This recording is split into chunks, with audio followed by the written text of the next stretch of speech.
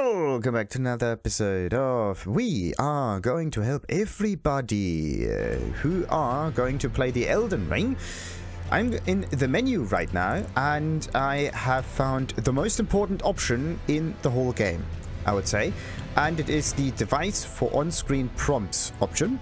Uh, it is supposed to be found in the system uh, subsetting under the third one over here, sound and display. And then you go all the way down until you find this thing.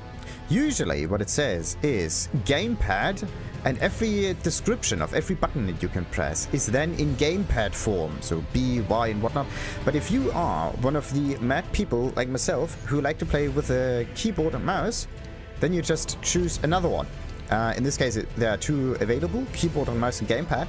And then all of the prompts here that you can press are then displayed in uh, keyboard and of course mouse forms which is amazing.